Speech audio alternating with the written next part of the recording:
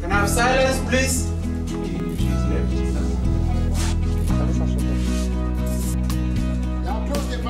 The day starts normally, you know, there's call times and everything issued. People get reset. We often in the morning, we would, after we're ready to take everything, we come together and form a beautiful circle. And then we say a prayer, you know, a symbol of unity. We all hold hands. I found that to be a very interesting way to, to start your day because it sort of um, puts everybody in the same level both spiritually and you know physically because you know people just start the day that way director mr b um, firstly i'm one person who I, I, like positive vibes you know I, I, don't, I don't like things too serious they become a bit too stiff you know so i like to make a joke here and there and i find that he's, he's similar there with that he's not uptight you know what i mean you can be free and relaxed around him which is which is a great thing now she has a hand from here obviously. Yeah, we're shooting. I think she must. She needs to massage me. I'm down. I'm just the world woman. She must. She must. Please stand by. in my ears. Promise me she will make this big. Uh, what do you think? You get it? No. Puxa.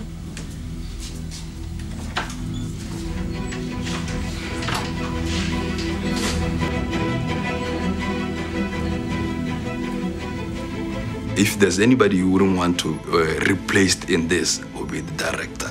He helps in any way possible, and he knows all of us. It's a good thing, you know. He has a relationship with each and every individual, from Kayla to Rex, and so on and so on. Mr. B is the kind of a director who is not motivated uh, by things like money, for so to speak. He's a man who is motivated by uh, the creative side of things. He's a man who, who, who likes work to be done.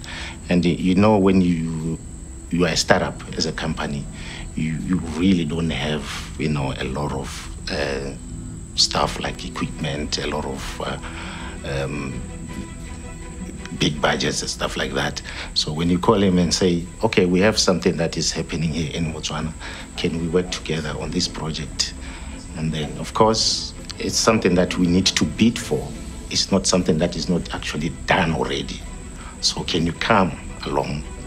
He was willing to come along, and uh, uh, he's actually a very, very um, experienced person. That's another reason why I decided to work with him. He's uh, produced and directed many uh, TV and uh, films in South Africa. The guy knows what he what he wants and he knows how to get it from the from from his talent to use his words. And i think even just molding somebody he leads by example. I pictured him as this mr serious warbara kind of person to work with with mean face and everything. But he was actually fun. He was very very friendly.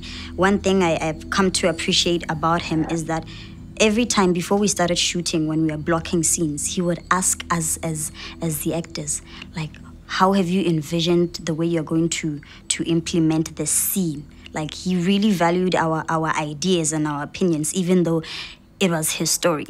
He was very accommodative in that department. I grew up in the border town of Ramotswa from a family of five. My sister kayla my younger brother sparks Every Saturday, our mother used to take us to church with our father. She loved us so dearly.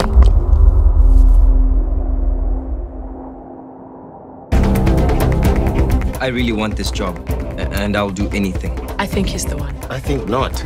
See, the guy has a lot of family baggage to deal with. So should I guess what was like? Don't start with me, Rose. I am hungry. Kayla, this is not right.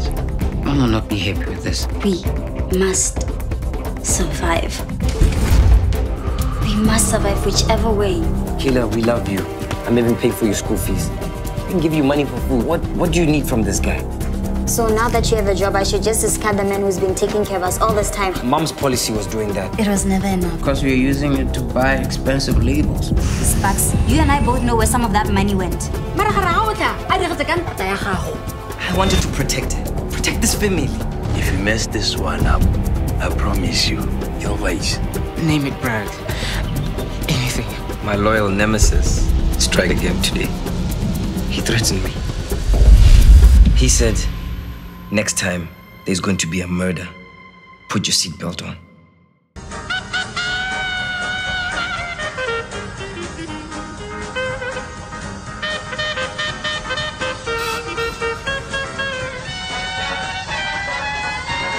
Nantawa, Sucks. you said we have to take care of ourselves. Of each other. Yeah, but But what? Prostituting yourself is okay, man. I'm not drugs out here. I was not. Pro- I was not. Pro- The clip was not enough. You see? Just do it. Because it's too short, the camera is not seeing whether you are here. Yeah.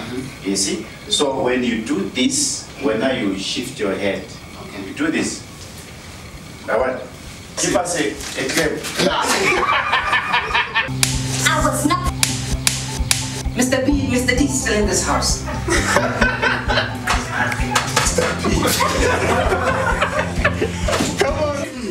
You wiggle this before She wants to pat on the face. What she wants umuntu wakho usituza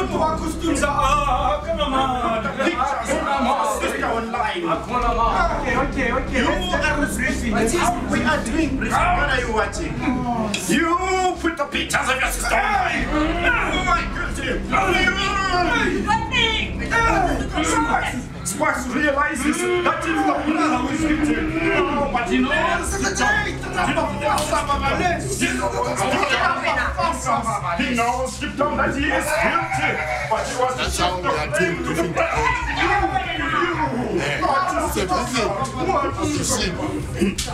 Okay, that was you. See.